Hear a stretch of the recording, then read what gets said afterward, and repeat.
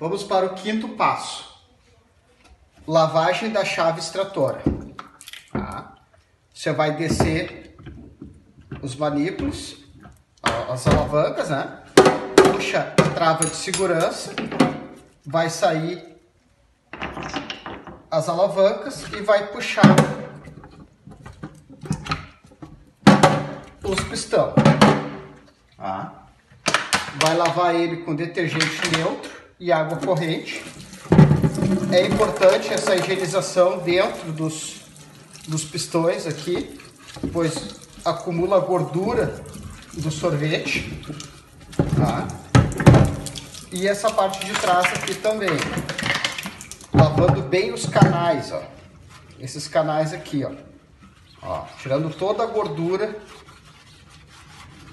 que fica do sorvete ou do açaí, né? O produto que você estiver usando.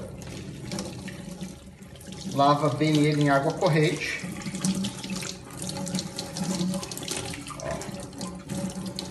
Deu. Sua chave está higienizada. Próximo passo, lavar os pistões.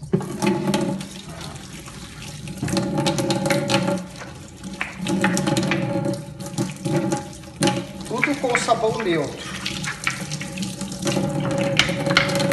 Os pistões estão lavados, a chave está lavada.